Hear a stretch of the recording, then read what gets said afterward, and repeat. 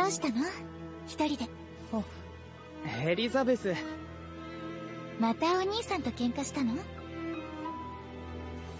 違う。みんなが俺を虫一匹殺せない腰抜けだって。そんなこと気にしてるの？でも俺が兄貴の顔に泥を塗っているのは事実だ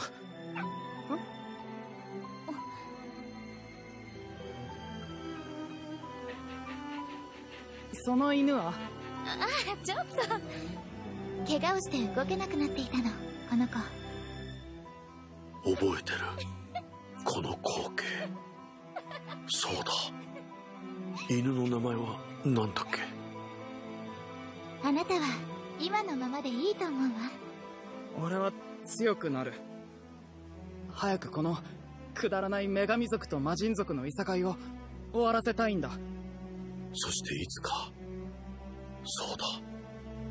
俺はエリザベスがずっと好きだった。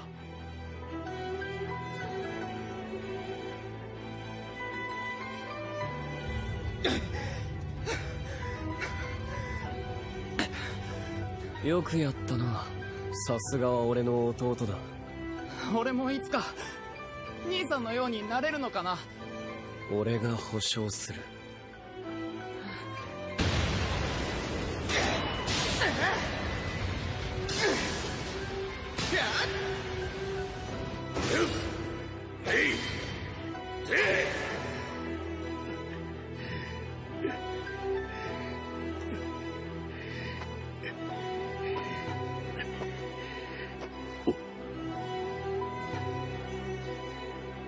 違う。俺は兄貴になりたかったんだ。違う。俺がメリオダスだ。